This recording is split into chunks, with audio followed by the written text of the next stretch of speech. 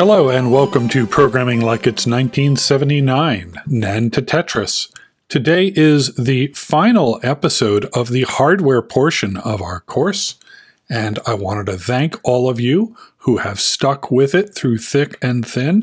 If you've reached this point in the class, you are a trooper. Today we're going to be finishing up our CPU, and we are then going to put that CPU in the computer. And when we are done, we will have a fully functional computer that can run machine code. After that, we'll be moving on to writing the software components necessary for the computer. Some of you have asked, is this part of some online course that I'm teaching? This is just my hobby. I'm going through this course because I took it and I really enjoyed it and I wanted to share it with people on YouTube. If you want to show your appreciation for the people who developed the course, I do want to remind you that their URL is nand2tetris.org. That's the numeral 2. And they actually teach this course in two parts on Coursera. Part 1 is all hardware, chapters 1 through 6 of the book The Elements of Computing Systems, and part 2 is the software projects, chapters 7 through 12 this YouTube series would not exist without their book, without their course materials. I think it's amazing that they put those course materials online for free. I do encourage anyone and everyone who's interested in this stuff buy their book, take the course if you are so inclined, and thank them for really sharing this work with the world. I think it is extremely valuable. I am not sponsored by Nisan and Schocken or by Coursera or anything like that.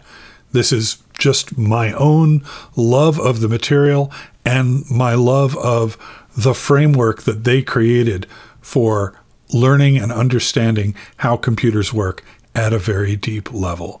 With that said, let's get underway. All right, continuing on with our CPU. There is actually a mistake here which is right here. This decides what was what is going to be routed to the A register.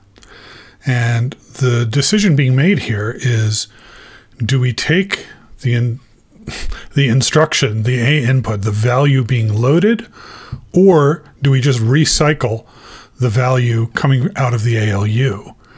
Um, and I have this using the dest A flag, but that's actually already covered by the load A. So we're going to change this and we're going to change it to C type, which is actually what's going to tell us whether we do this. And the decision being made here is, is this an A instruction or a C instruction? This correction was given to us by alert viewer Ivan Toshkov. Thank you, Ivan. I really appreciate the correction.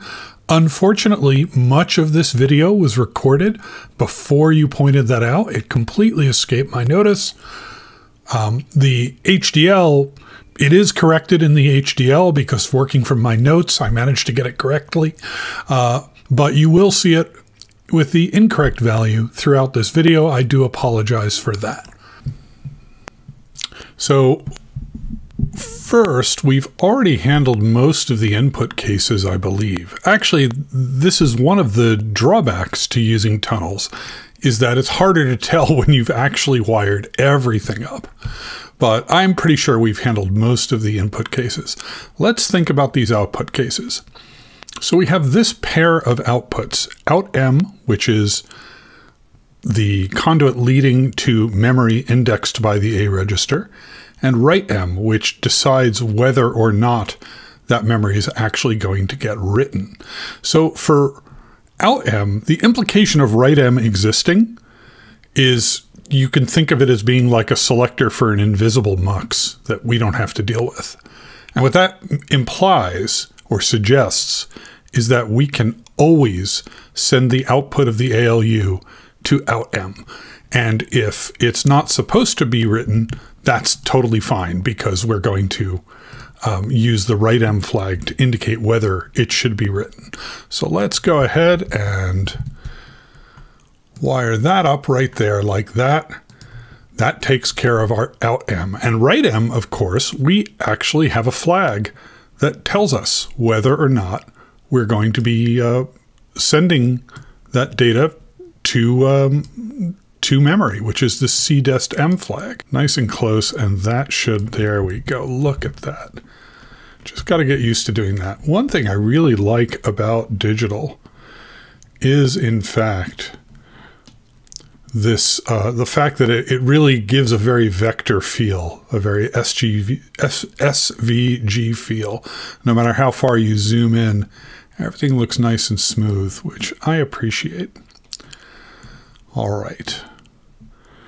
So we still have this address M field. I believe that is going to simply be the value in the A register. Uh, we'll come back to that. Let's think about jumping next since we talked about that. So we want to jump whenever one of these flags is true and whenever whatever condition these flags are talking about is true. And what does jump mean? Well, jump means we're going to put a new value into the program counter here. And that new value is going to be whatever is in the A register. And in the case where we're not jumping, we want the program counter to simply increment, right? So if we're loading a value into the program counter, if we recall the program counter spec, if we're loading a value into, in fact, we can just, let's go look at the program counter since I went to the trouble of making it. If we're loading a value into the program counter, then the increment doesn't matter. The program counter will increment, but then the value will be immediately replaced by what we are loading in.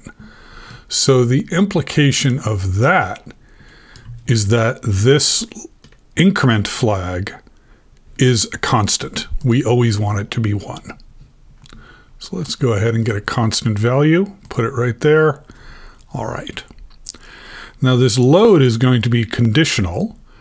And then the in value, what are we going to load? That's always going to be the same also. That's going to be this A register value. Because if you remember our assembly language video, the pattern for jumping is you put a value in the A register, then you do some command and you jump conditionally. So let's go ahead and put that there. And then the last thing here is, is if we load, and I don't think we know yet when we're going to load, but we can do our trick of putting a name on when we load. I don't want that to be the clock. Let's say, just call it jump.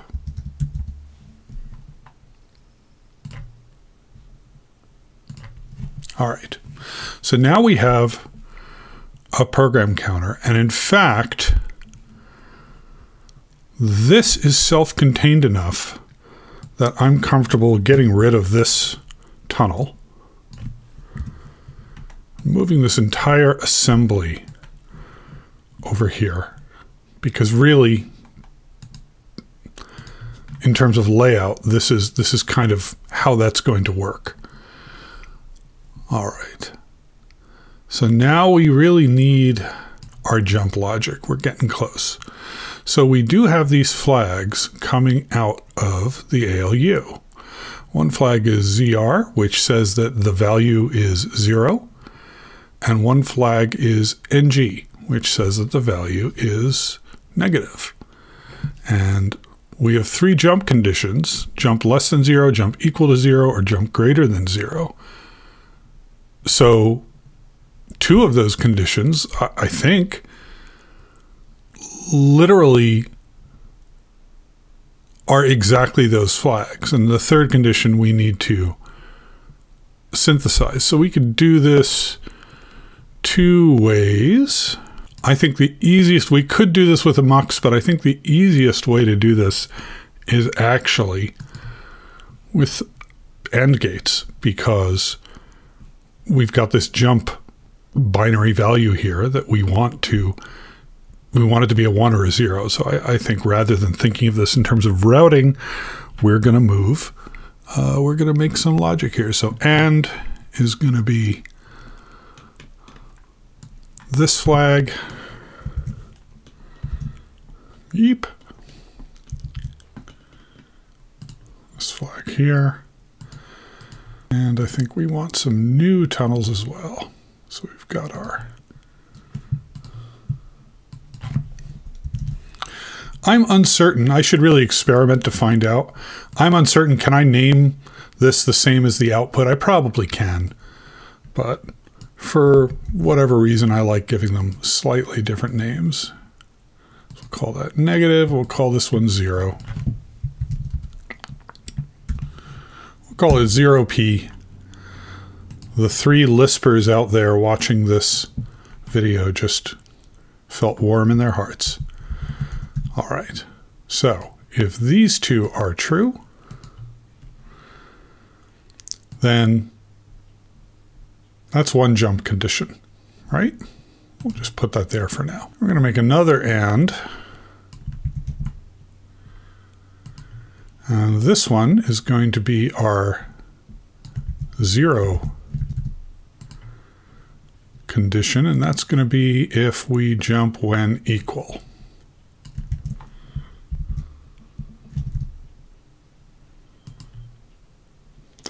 as a kid, I remember being very confused by the opcode JEQ in 6502 assembler because it wasn't clear to me that like jump when equal specifically meant equal to zero. I mean, I'd read it and I'd understand it, but then the instant those words were away from my eyes, I would forget that that what it means. That that's what it means. All right, so now we also need greater than. So logically, something is greater than zero if it is not zero and not negative, right? Okay, so we can we can make our own virtual flag here. Let's do it that way, and that way all this stuff is still nearby. Right there, right? So, oops, I've already made a mistake. I said not, didn't I? Put that one, I need that much space. And that one. So that will go there and this will go there. So there, we finally do have a little bit of wiring, huh? I know I've kind of avoided putting a lot of wiring nearby. There we go. Okay, and then we will give this its own tunnel as well. And that tunnel is going to be greater than. In fact, we'll even call it greater than P. No, no, we'll call it pos P. And just to be really clear about it, let's go ahead and do that. The one time I wanted this to say yes, I actually didn't uh, didn't bother doing it. Okay, we're going to put an and here. We're going to take pos P, put it there, and then we're going to take jump greater than and put it there. All right, so now we have three conditions under which we're going to jump. And we could put multiple OR gates, or we could use an eight-way OR. Uh, I'm just going to simplify this in terms of the drawing and tell digital that this is a three gate OR. And uh, that'll work fine. I feel like that's a simplification that is reasonable to put on a schematic. Okay, and then lastly, we could send it into this jump gate, this jump tunnel. But again, why not? Since it's, since this is all so local, this is a case where I will go ahead and just move the thing near to where we want it, and we'll just draw a wire. Okay. So what do we have left? We have address M, and then we're going to have to fix any bugs that we have in here. And then we're going to write some HDL. So if I recall correctly, let's look at the code as always. The address M and PC outputs are clocked. So those are, well, we don't have to actually draw the clock. Address in data memory of M. Address of next instruction. So th this is not conditional on anything. This is just what's the address in data memory, and we know that that is the A register. Um, one thing here, though, is that this is only a 15-bit address, not a 16-bit address. So we do need to do just a little bit of adjustment here. So we're going to take a tunnel, we'll put it right here, right? And that is going to be this value here coming out of the A register. And then we need a splitter because we want to split out. Input is coming in as 16. Output is coming in as 1 comma 15. And we're going to throw away the 1, and that is backwards. So I did that wrong. I think it's backwards. Yes, there's the 15th bit. There's the 14th bit. Zero, that's 0 through 14. That goes there. And we actually have to do now something exactly the same for the PC, the program counter, because the output of the program counter, I believe, is a 16 bit output. Once again, let's go take a look at that circuit. Yeah, that's a 16 bit chip. Oops. All right, let's go and select this whole assemblage here. Yeep. Thank goodness for undo. Give ourselves a little more room. You know what? If we do this, we can make it exactly the same sort of ah, we don't want to do that. We just want the same type of splitter. And I'll put it in the same horizontal position, hopefully.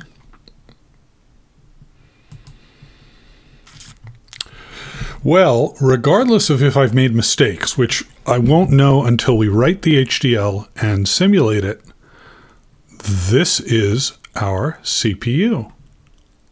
What happens if I start the simulation? This should find any disconnected circuits. Oh, one bit needed, but 16 bits found. Did I make this a one bit mux? Let's see, I sure did. I bet we did that here too. No, that one's right. All right, and we now have a circuit simulating and we could change the instruction. We can do whatever. I think it's a mug's game to get into trying to simulate on our diagram. Um, we could certainly, you know, do some things like make this a uh, more compact circuit. There's no particular reason to go out of our way to do that. So I'm not going to. We're going to go on and do the HDL. I do want to show you um, one thing before I do that, though.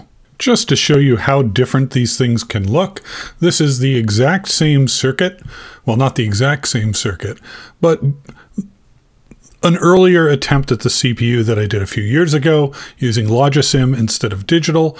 Um, my concepts of layout were maybe not as sophisticated as they are today. So I'm kind of half using tunnels and half drawing lines all over the place. Uh, it's not great, you know. What can I tell you? So don't feel like there's some well, there probably is an objectively right answer for what's the minimal circuit that one could do that implements the hack CPU. But if your circuit doesn't look exactly like mine, if you use different logic to arrive at the same result, as long as it passes the tests, that's good enough for purposes of this class. The thing I do want to emphasize is that despite the fact that we spent about what, seven weeks on hardware, this isn't a hardware class.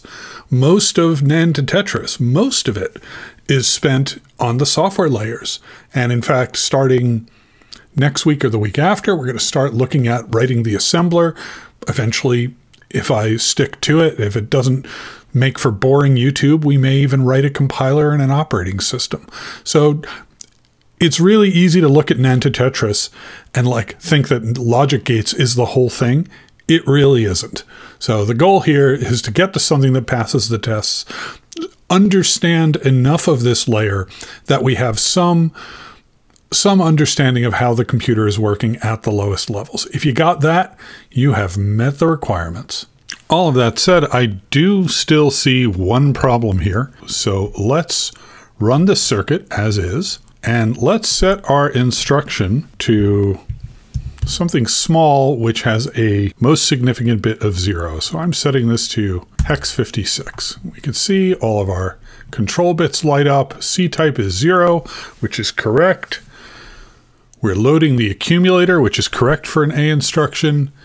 Inspecting this wire, we can see our value, hex 56, is loading.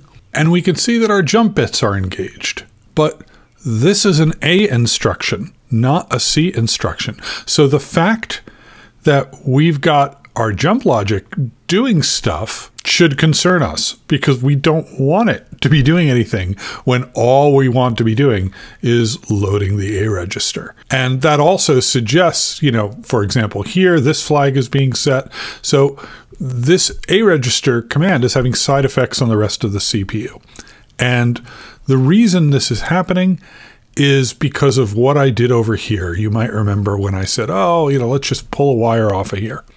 So we need some sort of gate here to prevent all of this activity. We, we, in the case where we're loading the A register, we want all of these flags to be zero. And there's a few different ways to do that. Let's do it with, I believe, a mux. Uh, the other thing I'm going to do here is I'm going to get rid of some of these internal tunnels. Just this tunnel right here, this AN.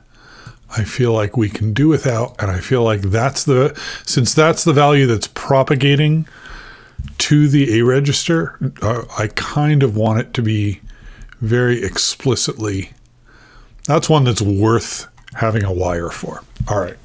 So what are we going to do here? Well, first of all, I think this A input is now garbage, and, and let's get rid of it for now. All right, so we want a multiplexer, and it needs to be a 16-bit multiplexer.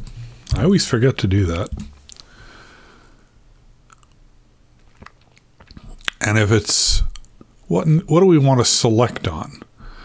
We want to select on this C-type wire, but my plan is for this breakout to happen after the um, after the mux, and we actually need this to even make this decision. So I think that implies that we need another splitter, and in fact, we need a splitter that looks just like this. All right, this is going to be a little bit weird. This is going to be a little bit weird. So we're going to take this 15th bit, which is our C-type bit. We're going to put it right there we're going to put this here. When C-type is 1, then we actually do want this entire instruction to go here and to be broken out into its constituent parts, like we've got here. So before we enter the mux, we have what used to be called a input. And I think that's still valid, actually. So I'm going to go and recreate, I think, this A input tunnel. A input's actually a really bad name for it. I'm still going to leave it. And what we want going in here for the case where it is a an A instruction, we want it to be a constant. And we want it to be a very specific constant. We want it to be all zeros, I think.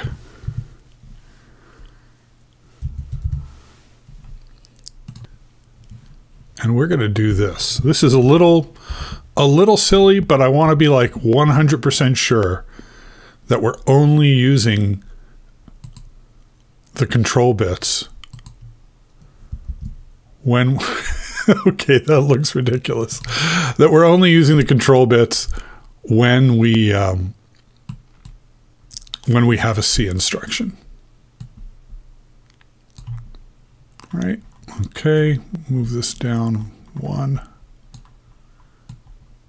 just so we can make sure it's connected. All right. Let's simulate this.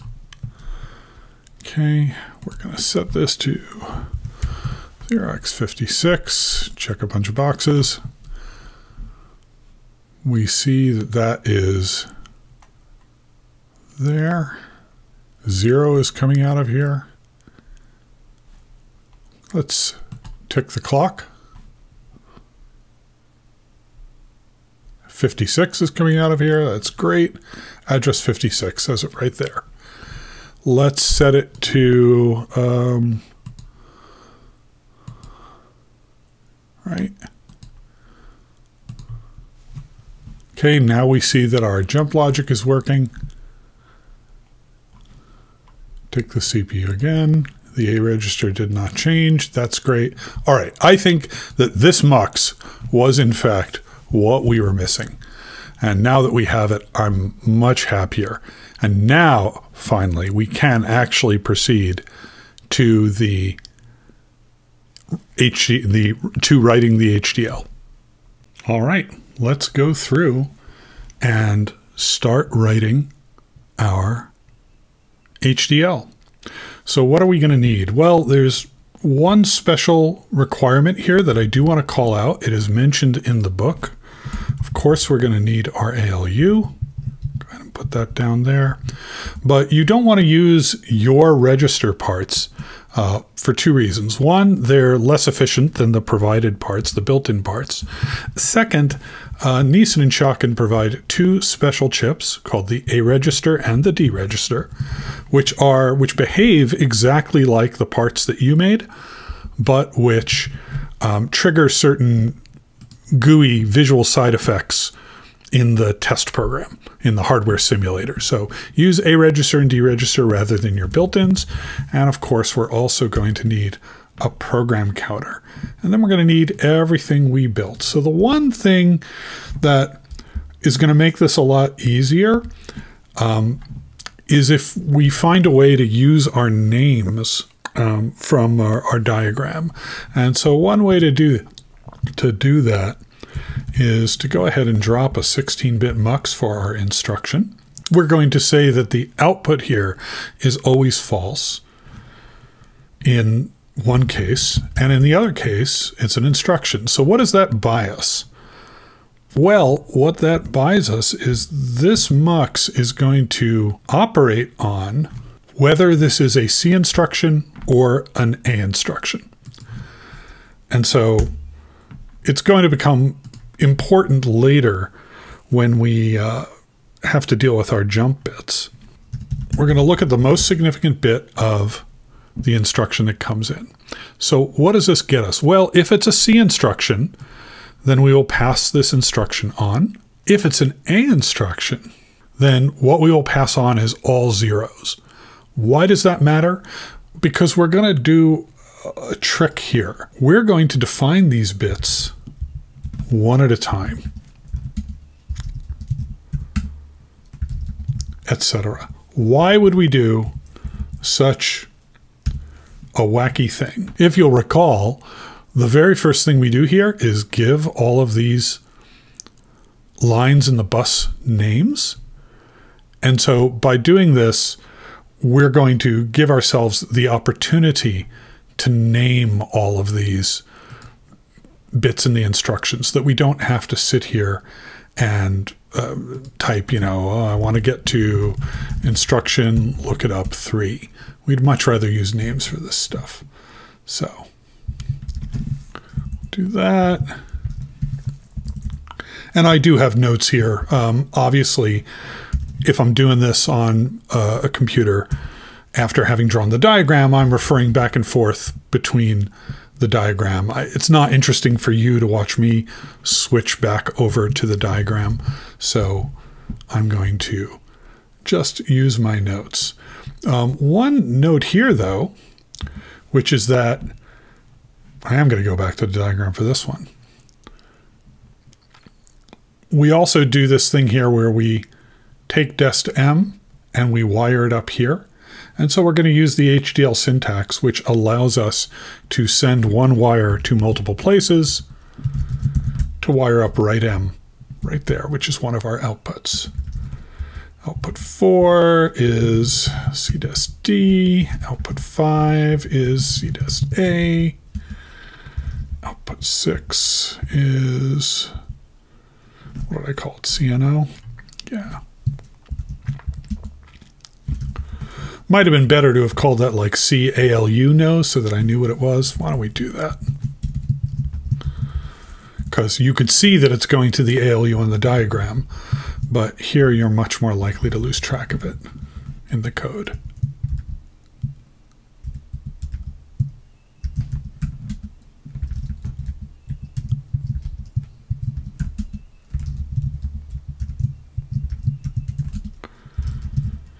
So many control bits.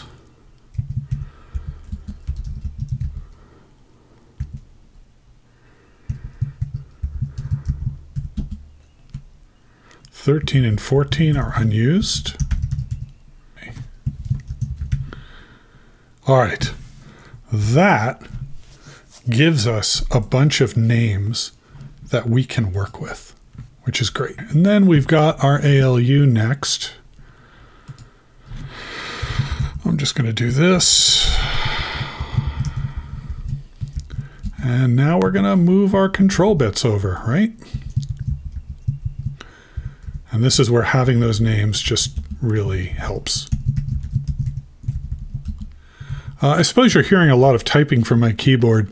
Uh, I would love to know, is the typing annoying? Is it okay? Uh, I could go to more efforts to try and keep that away from the mic and keep it out of the video, but I figure, you know, sound effects for when I type, why not? But if, if it's annoying, leave a comment in the uh, leave a comment below and let me know. Hmm. What did I call these? I think I called that zerop. I think I called that neg-p. Right. And this is another case where we know we also want to route that to memory like so. Okay. So then for our A register, we have a couple of muxes here that we need to create. And again, they have to be 16-bit muxes. The first mux is deciding whether or not we take our instruction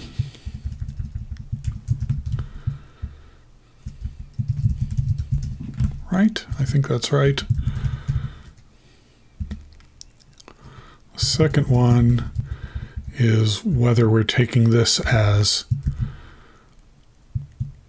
the content, whether we're treating the A register as the A register or as the contents of memory, which is that C, A, or M flag we had before. And that's going to the ALU and that YN value, right? I think that's true.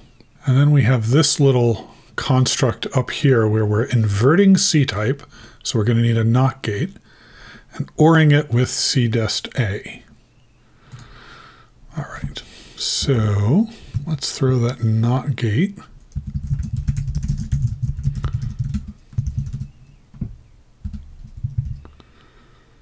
That's C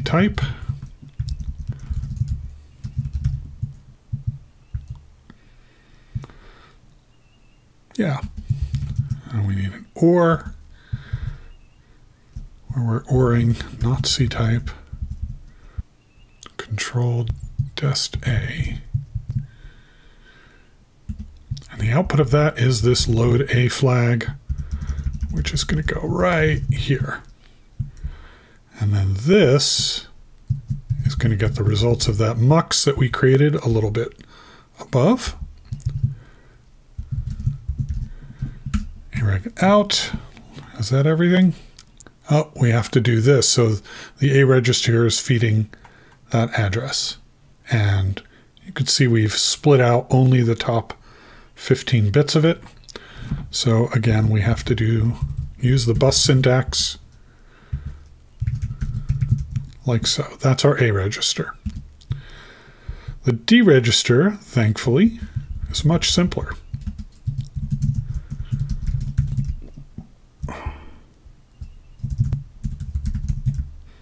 Deregister all fits on one line. It just gets the value of the ALU muxed on that flag. And we send its input to there. I think I named these dereg out in the diagram, but that's fine. And we've got our jump logic. This is, again, not hard but it is a little bit annoying. Um, I want to make a virtual predicate over here. Uh, I'm going to invert what I did on the diagram here. We're going to OR these together. I think I used two NOT gates going into an OR gate, but we can do this instead. I don't think uppercase has any particular significance in this HDL language, but we'll be consistent. All right, so now we have our is greater than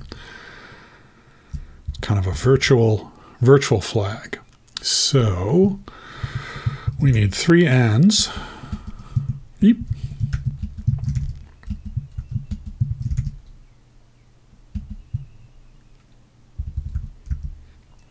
And those are based on jump if equal right?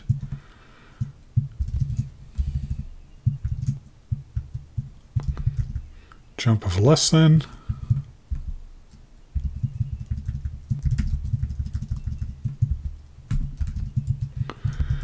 And jump if greater than.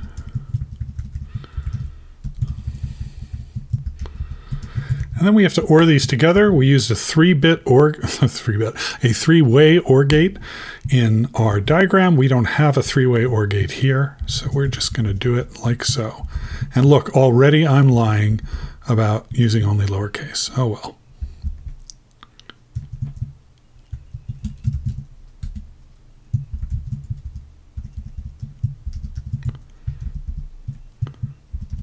And that becomes, yes, we're jumping. Uh, and to jump means to load the program counter. What are we loading it with? We're loading it with the output of the a, the contents of the A register. We're always going to increment. Um, if load is set to true, then the increment will be ignored. Reset is hooked up to the reset switch. And this is a 15-bit output, not a 16 bit output, so we have to do that, I think.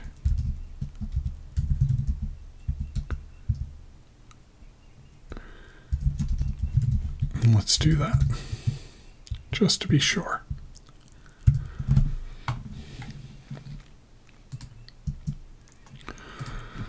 That, well, I'm sure we're missing something, but let's go to the hardware simulator and see how bad we did.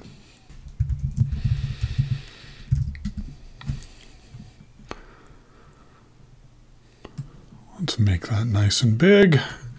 I wish this thing laid out. It wastes all this space. Java is so terrible. All right, so we need cpu.hdl. Hey, it loaded. There you can see our ALU. What can I do? Screen output, comparison, screen. All right, we'll do that. And then let's load our script.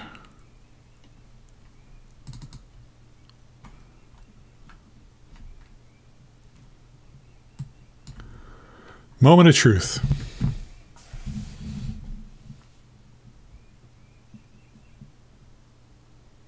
You could see it was doing a bunch of jumps there.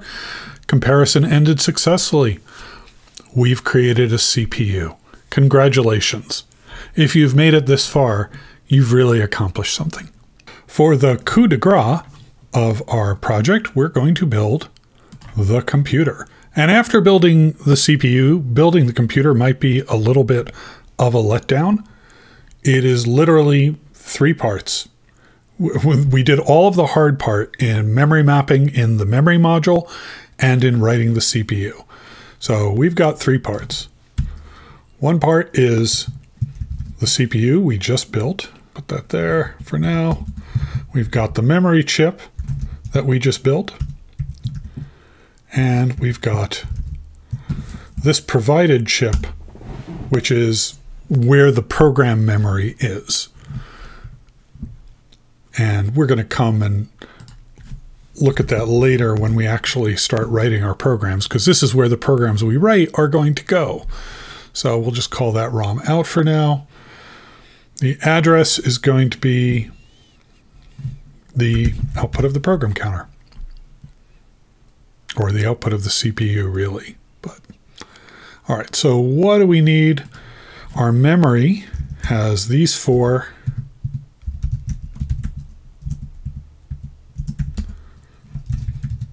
inputs.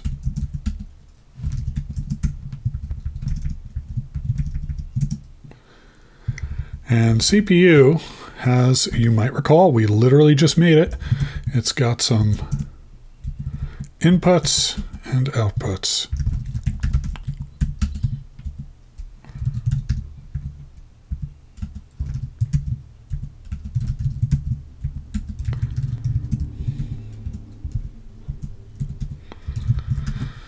We'll call that PC out because we already gave that a name.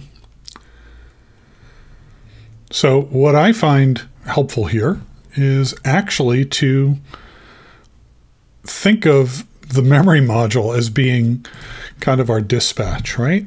So if it's going into the memory module, you're storing it, right? If the write flag is set, you're writing it.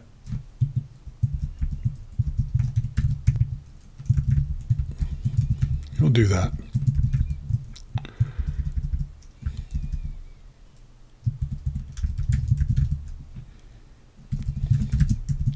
Uh, one thing that always confused the heck out of me when I was younger is this load store terminology. It, it's it was exactly the opposite of what I expected as a human, as a young human. I wanted store to mean something different. Store means you're going from the CPU to the memory. Load means you're going from the memory to the CPU. Whereas I don't know. I, I always think I'm thinking as if I'm the CPU. So it's kind of backwards from what I expect. It's just a term of art and you got to get used to it. Okay, so in memory, over in M over here, is wired up that way.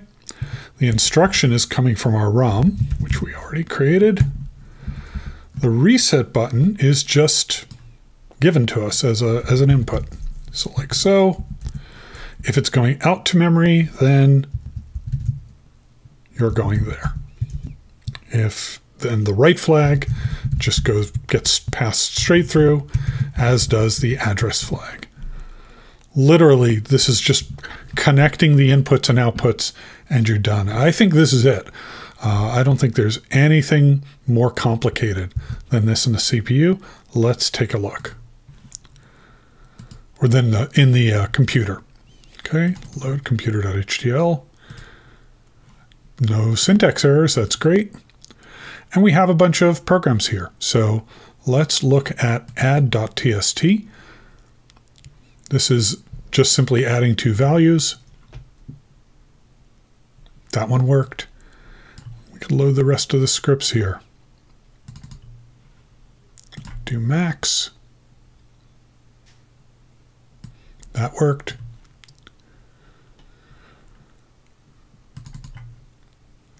Select the screen option. I did choose the screen option. Oh, animate. No.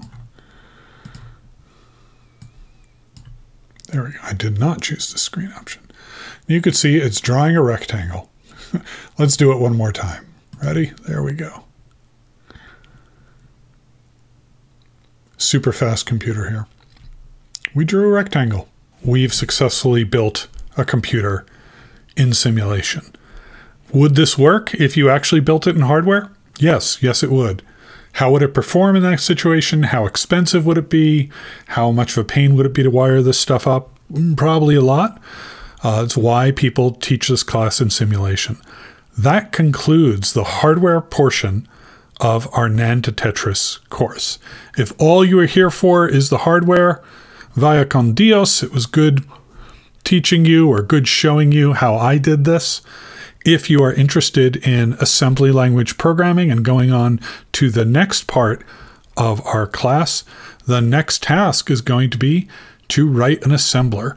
I don't know how long it's going to take me to spin up on that. I'm tentatively intending on using the Haskell programming language to do so, but I do hope you will join us for it.